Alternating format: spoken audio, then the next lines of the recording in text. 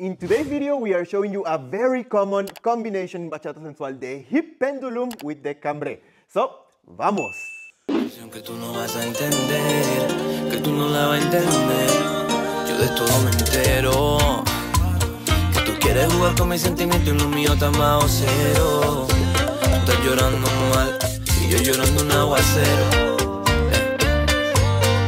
Pero la verdad no quiero. Así que tu historia está mal contada y nadie te la cree.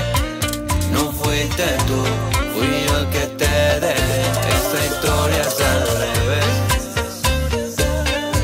Esa historia es al revés. Yo fui el que te dejé. La tuya está mal contada y nadie te la cree. No So we're doing a pendulum and reverse side wave with a cambre. So we are in the closed position. And the first thing, guys, that we have to make sure is that on three or four, we have connection on the hips. So guys, from this position, we're doing our basic and we go in one, two, three, four. So make sure to bring yourself closer to the follower and have this connection, but don't come straight towards her. So don't go in one, two, three we need to be rotated to the outside, okay? So we are here and we go in one, two, three, four. And we prepare our pendulum by bringing our hips up and out. And now we do a pendulum in five, six. So as you notice, it was first the hips only, the ones that moved. The upper body was still straight. So in five, six, we're still straight, but the hips want to continue traveling, which causes the upper body to start reacting. In seven, eight.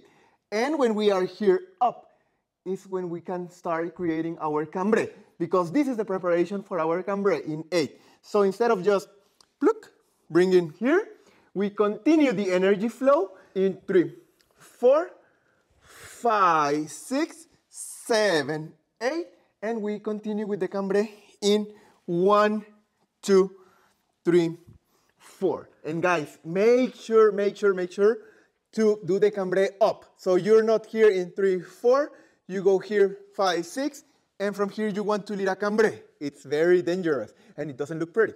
So we go first down, up, up, up, up, up, until we can no longer go more up. And now we can do the circular motion with the upper body. So in order to follow this movement correctly, it is very important that we keep the connection. So when the leader comes closer, of course, we cannot go back. We also have to push forward and give the connection to the leader and try to keep it when you get it from the beginning and not take it away and then you have this bouncing, which is a little bit weird, okay? So when we come to the cambre, it's important that you unlock your head when you go and we start the cambre to our front and then you let your head fall forward. And here you open your chest. It's this part that has to open to the roof and not down here. So we don't want a distance here. We want stabilize our body until there. And this is the part that opens up. So let's do it counting from this point of view in one, two, three, four, five, six, seven, eight, and one, two, three, four, and five, six, seven, eight. If you like this video, make sure to give it a like and let us know down below. Subscribe to our channel, check out these other videos that you are going to love. See you there.